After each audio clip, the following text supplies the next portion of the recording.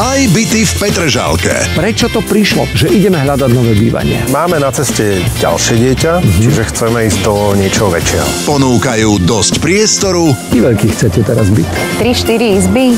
No minimum 3, optimum 4. Pre štvorčlennú rodinu. Vieme, že s tým, s čím do toho ideme, tak asi budeme musieť Nejaké robiť kompromisy. kompromisy. Nové bývanie v nedeľu o 17.50 na Jojke.